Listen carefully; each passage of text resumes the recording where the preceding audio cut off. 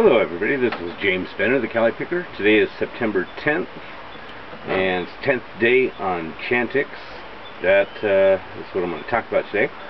Uh, that works, boy. Um, I've, let's see, uh, today is Sunday, so uh, Friday and Saturday, each day, um, I smoked six cigarettes each day. Today I've only smoked four.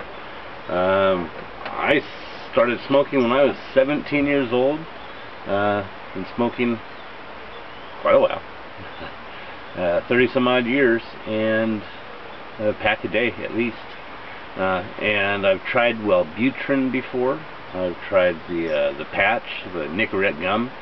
Uh, none of it worked, but uh, this stuff, Chantix, works.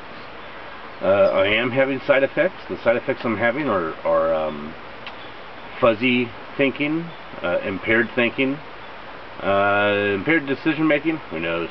Uh, my decision making has always been strange. Uh, insomnia. I have insomnia already from from my pain from my disease, anyways. But uh, I have not noticed any nightmares uh, when I do sleep. Um, I think I had a dream the other day, but can remember it. I woke up from pain. But yeah, uh, it really works. So hopefully uh, um, I will be uh, smoke free here shortly in the next few days. I meant to quit today, but uh, I smoked four cigarettes today. And hopefully that's it for today. So, uh, wish me luck. Let me know what you do for uh, how long it took you to quit smoking. let me know if Chantix worked for you or not. What side effects did you have? Um, today is Sunday, uh, starting season of football. So go Chargers. Let's see if we can do something this year.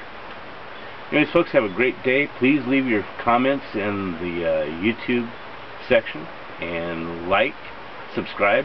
Let me know uh, what you want me to talk about. So anyways, uh, have a fantastic day, and I'll talk to you later.